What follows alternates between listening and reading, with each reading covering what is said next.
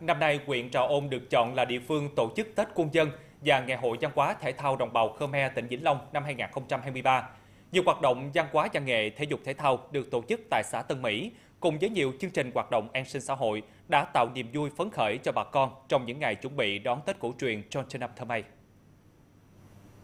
Đây là những hình ảnh nhộn nhịp trong hai ngày qua ở hội chợ đưa hàng Việt về nông thôn tại xã Tân Mỹ, huyện Trà Ôn, tỉnh Vĩnh Long. Đông đảo người dân đã đến mua sắm, đặc biệt đồng bào Khmer cũng tìm cho mình những món hàng cần thiết để chuẩn bị đón Tết cổ truyền. Ai cũng vui vì sự tiện lợi này, ngày ở dùng đồng bào dân tộc. Mình cảm thấy cũng rất vui, à, cảm ơn à, cảm ơn chính quyền nhà nước à, phụ giúp vui dân tộc me phát triển người xưa cũng nhà nước cũng giúp đỡ với người dân tộc me nhà cửa thì hoàn thành xong xuôi ở trên cũng nhà nước phụ giúp đỡ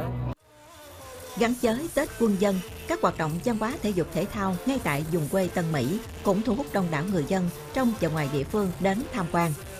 vừa được bộ đội về giúp đỡ chăm lo cho các hoàn cảnh khó khăn, vừa được thưởng thức những bữa tiệc tinh thần.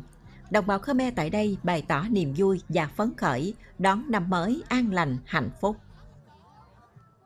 Có văn nghệ Khmer đó, thì ờ, Tết đó, ờ, ba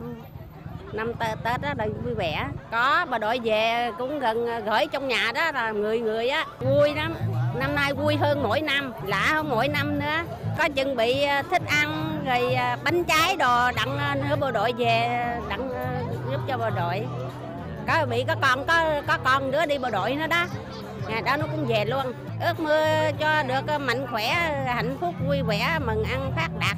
có tiền, có bạc, đặng ờ, lo cho con cháu. Giờ bộ đội về ăn Tết với gia đình vui lắm.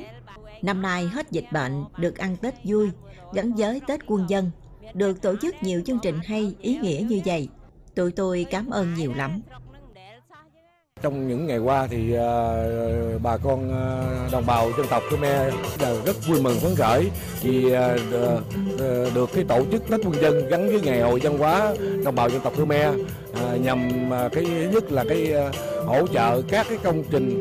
phúc lợi xã hội, trong đó gắn với các cái hoạt động vui chơi giải trí thể dục thể thao. Rồi trong đó thì đưa cái hàng Việt về nông thôn nhằm tạo cho bà con có không khí uh, vui xuân đón Tết cổ truyền là cho năm nay là cái uh, ngày một là phát uh, ờ, phấn khởi hơn.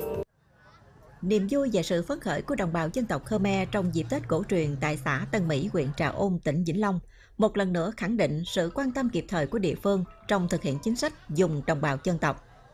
Năm mới nữa đang đến với đồng bào dân tộc Khmer, niềm vui này sẽ góp phần lan tỏa, gắn kết để cộng đồng các dân tộc anh em trên địa bàn chung tay vì sự phát triển giàu mạnh của quê hương Vĩnh Long trong thời gian tới.